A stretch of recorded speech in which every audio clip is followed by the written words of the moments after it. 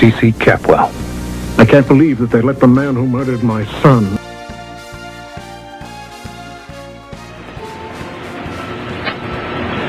Joe Perkins has been released. C.C. Capwell here. What happened with Santana? They're going to go after you when you leave this place. You heard me on the phone. No comment about the fire. No information. You hear?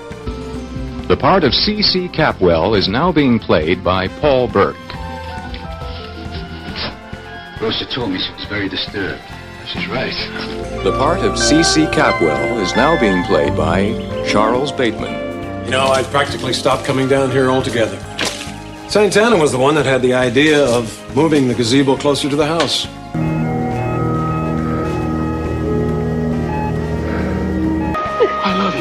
love you too. I love you so much. I love you. I love you.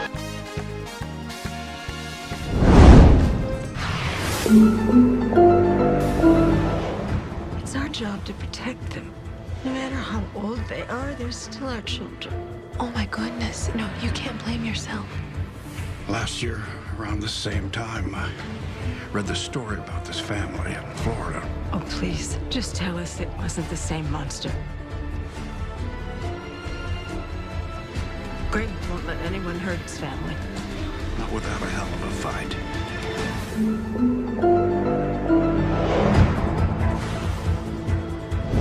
Robin Wright, an actress of remarkable talent and renown. You know her most recently in her role as the stunning and cunning Claire Underwood from House of Cards.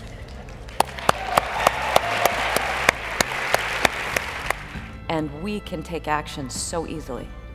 You can go to enoughproject.org and go to the Take Action page and press your button. It's so simple. Say that again. Enoughproject.org, Take Action page. I mean, um, I think I would be more effective if I had Claire Underwood's wardrobe. I think I've reflected on this question. well, you know, that's funny. And I think you'd be more effective if you had my husband. Well, on that note, um, You have like the I opposite have of my I have something for you um, because this is the Claire Power dress. So I thought that was very apropos. And that's Oh, wow, wow, wow, wow. Why don't you That's stand yours. up and Wow. stand up and present it. I love that. She read my mind. Okay, watch out, Russians. You know Ferguson Donnelly from McCann? Of course, Ferg. Good to see you. Been a while. I don't care if you know a girl from Kalamazoo. We don't want you on the business because we don't want you on any business. They don't walk around the office like their shit doesn't stink. And then go out and tell the world we're what? A bunch of black Irish thugs. People come in and out of our doors all the time, Ken. But they don't walk out with $4 million of Bird's Eye products. Roger said he'd be glad to recommend you.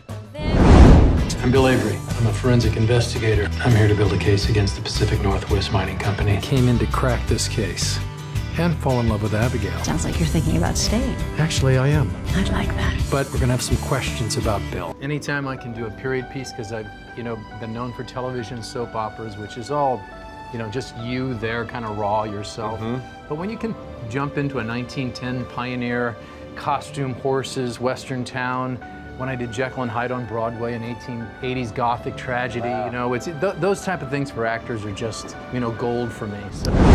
We love her in House of Cards, but we also love her because she really cares about Africa.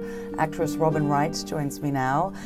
You know, uh, I talked to a woman who was 24 years old and she was uh, gang raped five men in a row. And she will never be back to normal. Um, she probably will never be able to walk again. And I said, what was the most harrowing moment of that? Not only because her child was witness, witnessing the act, um, is that she said, when the fifth man raped me, he said, I am going to not only rape you, but I'm going to rape you with my machine gun uh, and, compl- and permanently destroy you because we believe that the woman has all the power. So isn't it ironic that they know the women have this incredible power and force, but he wanted to usurp that power by destroying hers?